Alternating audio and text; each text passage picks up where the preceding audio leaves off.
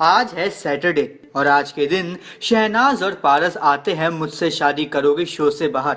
वहीं बाहर आकर ये लोग कुछ भी कर सकते हैं, कहीं भी जा सकते हैं। पर शहनाज ने घर से बाहर आकर लाइव चैट किया और इस लाइव चैट में शहनाज ने बताया कि वो मुझसे शादी करोगे शो में इतनी उदास क्यों है।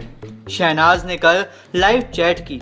लाइव चैट में उन्होंने बताया कि वो सिद्धार्थ से प्यार करती हैं, लेकिन उनका ये प्यार एक तरफा है। जी हाँ आपने बिल्कुल सही सुना।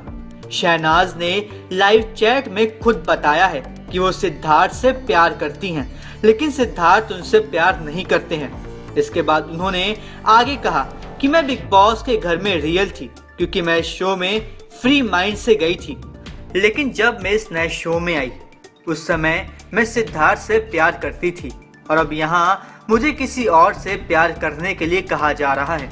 इसी वजह से मैं इस शो में इतनी एनर्जेटिक नहीं हूँ और मैं इस शो में इतनी रियल भी नहीं दिख पा रही हूँ। वेल ये सब सुनने के बाद हमारे और बाकी सभी के दिमाग में बस एक ही सवाल है कि क्या सिद्धार्थ ने जो भी बिग बॉस में शहनाज के लिए किया, क्या वो सब दोस्ती थी?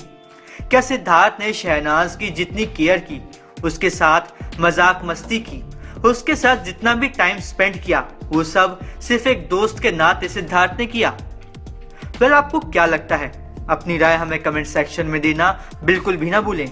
और इसी तरह की अपडेट से जुड़े रहने के लिए हमारे चैनल को ज़रूर से सब्सक्राइब करें, ताकि आपसे मिस ना हो हमारा कोई भी latest update thanks for watching Arpan news